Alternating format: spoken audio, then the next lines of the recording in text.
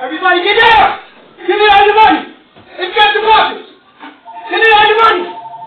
A would be robbery doesn't go quite as planned when a suspect storms into a nail salon demanding money, but no one reacts to his threats. Hey! Where's the money?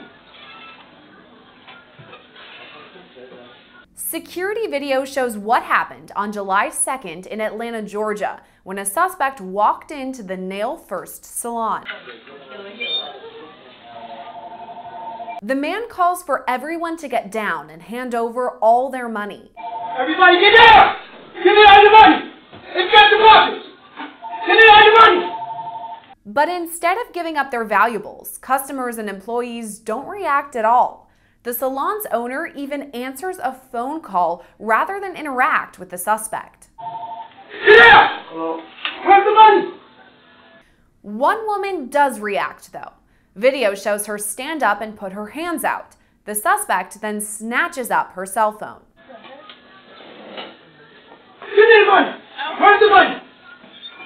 Everybody give me everything! As the woman steps outside, the suspect screams for the others to hand over their money. Where's the money? But the customers still refuse to react or give up their belongings. Defeated, the suspect appears stunned before turning around and walking out of the shop.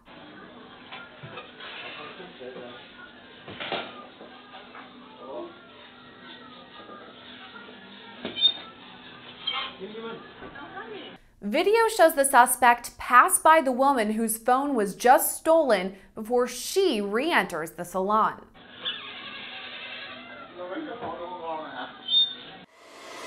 Officials say the suspect drove off in a silver colored sedan. Right now, authorities are still searching for him.